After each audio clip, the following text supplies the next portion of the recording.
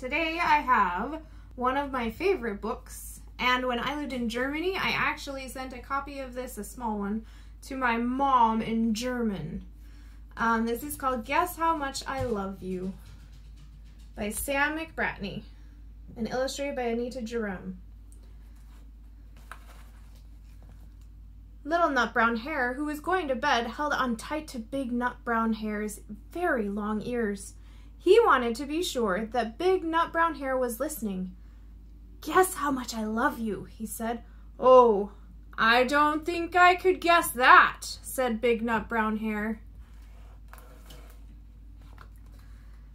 This much, said Little Nut Brown Hare, stretching his arms as wide as they could go. Big Nut Brown Hare had even longer arms. But I love you this much, he said. Hmm. That is a lot, thought Little Nut Brown Hare.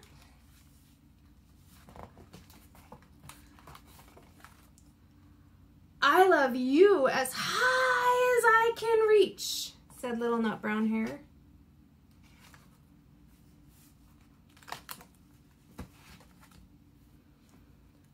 Love you as high as I can reach, said Big Nut Brown Hare.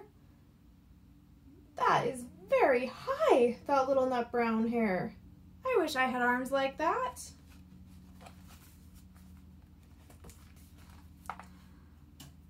Little Nut Brown Hare had a good idea. He tumbled upside down and reached up the tree trunk with his feet.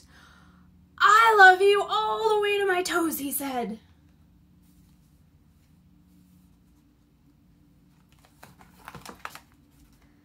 And I love you all the way up to your toes, said Big Nut Brown Hare, swinging him up and over his head.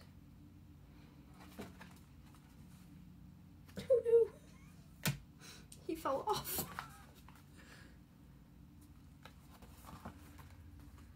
I love you as high as I can hop, laughed Little Nut Brown Hare, bouncing up and down. But I love you as high as I can hop, said Big Nut Brown Hare. And he hopped so high that his ears touched the branches above. That's going good hopping, thought Little Nut Brown Hare. I wish I could hop like that. I love you all the way down the lane as far as the river, cried Little Nut Brown Hare. I love you across the river and over the hills, said Big Nut Brown Hare.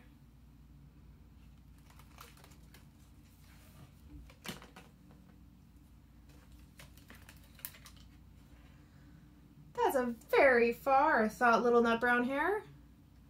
He was almost too sleepy to think anymore. Then he looked beyond the bush, thorn bushes, out into the dark night. Nothing could be farther than the sky. I love you right up to the moon, he said and closed his eyes. Oh, that's far, said Big Nut Brown Hare. That's very far. But Big Nut Brown Hare settled Little Nut Brown Hare into his bed of leaves.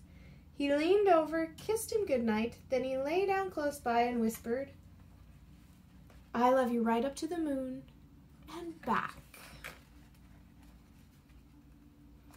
The end.